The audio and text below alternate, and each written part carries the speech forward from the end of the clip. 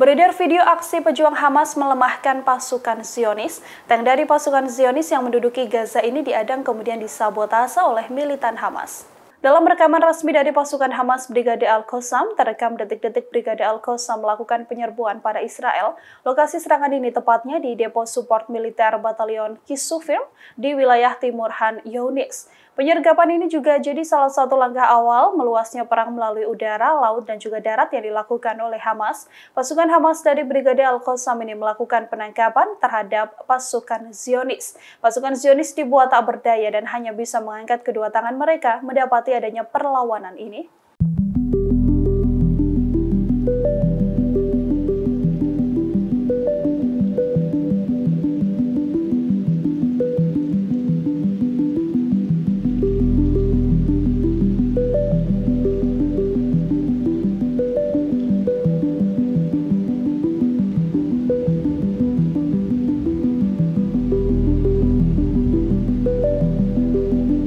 Download Tribun X sekarang.